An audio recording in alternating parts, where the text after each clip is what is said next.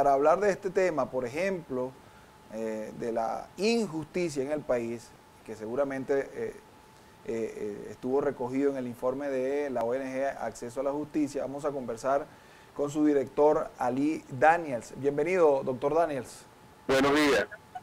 Bueno, buenos días, ¿cómo está? ¿Cómo le va? Saludos desde la redacción de Benepres, Alberto Toro y Fernando Tineo brevemente nos puede eh, hacer un resumen para, eh, para luego hacerle algunas inquietudes sobre este informe que presentaron ayer. Sí, bueno, básicamente lo que queremos recalcar de ese informe es que eh, en Venezuela se vive una dictadura moderna, en el sentido de que efectivamente el régimen ha entendido que ya por las unas elecciones libres y democráticas no puede mantenerse en el poder y ha utilizado una maraña, porque esa es la, la expresión que hay que utilizar, una verdadera enredadera de estrategias múltiples y variadas, dentro de las cuales está la electoral y el ataque a través del Tribunal Supremo para mantenerse en el poder. Entonces, el hecho de que existan algunos espacios de libertad, eh, son solamente hay que entenderlos como elementos de tolerancia, situaciones de tolerancia para mantener una fachada que se dice que es institucional, pero que en realidad detrás lo que esconde es un régimen autocrático. Siempre se ha dicho eh, que el pilar fundamental del Estado es el sistema de justicia. Eh, en Venezuela el sistema de justicia, según lo que usted nos dice, está siendo utilizado para manejar el Estado al antojo de, de las personas que están en el poder, ¿no? Es así, y lamentablemente en el caso, por ejemplo, de la Asamblea Nacional, que es el único órgano legítimo que queda en el país, eh, el, el ataque por parte del Tribunal Supremo es tan evidente que se han dictado desde el año, desde año 2016 para acá, eh, más de 100, eh, 100 sentencias contra la Asamblea Nacional quitándole cualquier posibilidad de accionar o cualquier posibilidad de actuar. Y esto pone en evidencia una vez más que, como dije, esta dictadura moderna lo que hace es utilizar las fachadas institucionales para esconder lo que en realidad no es más que un régimen autocrático donde además, por más que quieran eh, ocultarlo, finalmente lo que aparecen son las violaciones masivas a los derechos humanos todos los crímenes atroces, como el caso del que acaba usted de mencionar, el del capitán Acosta Usted, eh, no hay institución, no hay forma constitucional válida para ocultar un hecho de tortura de la magnitud como es el caso del capitán Acosta lo que además debo agregar, no me sorprende porque Provea justamente ha señalado que en el año 2018 eh, ellos recopilaron 100 casos de tortura, de los cuales 75 corresponden al DGCIN. Por lo cual no nos debe sorprender que eh, lo, que ocurrido al capitán Acosta lo haya pasado, porque lo sorprendente es que no, no hayan ocurrido más muertes, más bien. A ver, eh, eh, doctor Daniels, ¿cómo desmontar eso que usted, ustedes calificaron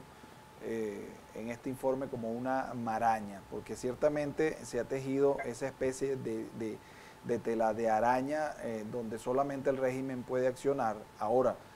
cuando esto termine en algún momento, cómo desmontar y cómo empezar a armar ese sistema de justicia para que la gente además recobre la, confianza, si es que alguna vez tuvo confianza en el sistema de justicia de este país. Voy a empezar justamente por lo último que usted ha dicho. Lo cierto es que en Venezuela nunca ha habido un sistema judicial confiable, nunca ha habido un sistema judicial independiente y por ahí tenemos que empezar. Y la primera, eh, digamos, la primera acción que nosotros proponemos que debe hacerse es justamente la convocatoria de concursos de oposición, que es lo que dice la Constitución como un juez debe constituirse, y que eso le da una movilidad al juez. Y a partir de ahí empezar a construir poco a poco un poder judicial que efectivamente sea independiente, porque aquí, si hubiese ocurrido una sola vez que un juez, eh, un miembro del Tribunal Supremo, le haya dicho que no al poder, no estaríamos en la situación tan grave en la que estamos. El problema aquí es que nunca se le dijo que no al poder y más bien había una competencia entre los demás poderes públicos a quien le otorgaba el doble o el triple de lo que el Poder Ejecutivo solicitaba.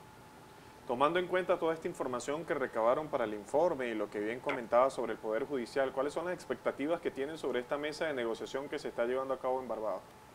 Sí, bueno, básicamente nosotros obviamente como una organización de derechos humanos abogamos por el diálogo y la solución pacífica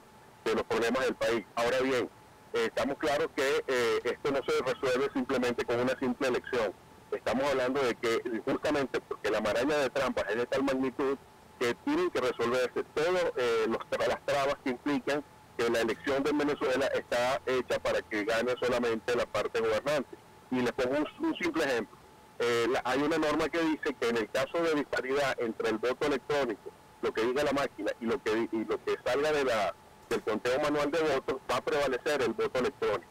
Entonces, obviamente, eh, esto es una regla que tenemos que eliminar porque efectivamente no puede ser que el voto electrónico eh, eh, se imponga sobre el conteo manual porque precisamente para eso está el escrutinio electoral y eso te dice que la Contraloría Electoral en realidad no existe y que simplemente hay, con que tú manejes el, sistema electoral pues ya tienes ganada la elección y estas son otra de las muchas cosas que hay que cambiar y por lo tanto para hacer una elección no bastaría solamente que los miembros del CNE se renueven sino que habría que depurar todo el sistema electoral que está lleno de un verdadero campo minado contra la democracia. Ustedes en, en acceso a la, eh, a, la justicia eh, eh, han hecho trabajos sobre, por ejemplo, quién es cada quien en el Tribunal Supremo de Justicia, quién, quién, ha tenido méritos para estar allí y, y quién no. No sé si ustedes también tienen conocimiento a través de sus investigaciones, eh, ¿cuántos jueces hay eh, eh, en Venezuela, por poner Venezuela y si no más localizado en Caracas? ¿Cuántos jueces titulares hay y cuál es el porcentaje de jueces que no tienen esa titularidad que además lo hace, digamos, permeable al poder, aquel juez que no es titular, porque, bueno, puede ser removido en cualquier momento?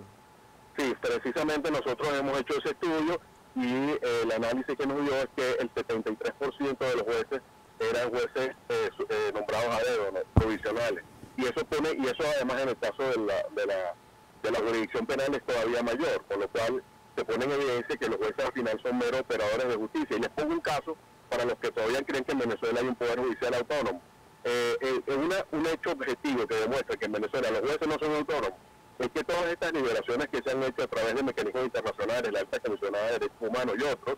se han hecho con el Poder Ejecutivo. En una democracia, un Poder Ejecutivo no puede ordenarle al Poder eh, Judicial que libera a nadie. Pero en Venezuela, la única manera de liberar a un preso es hablándolo con el Poder Ejecutivo. Es así.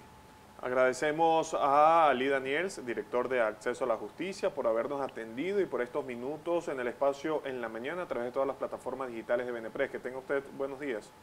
Muchas gracias.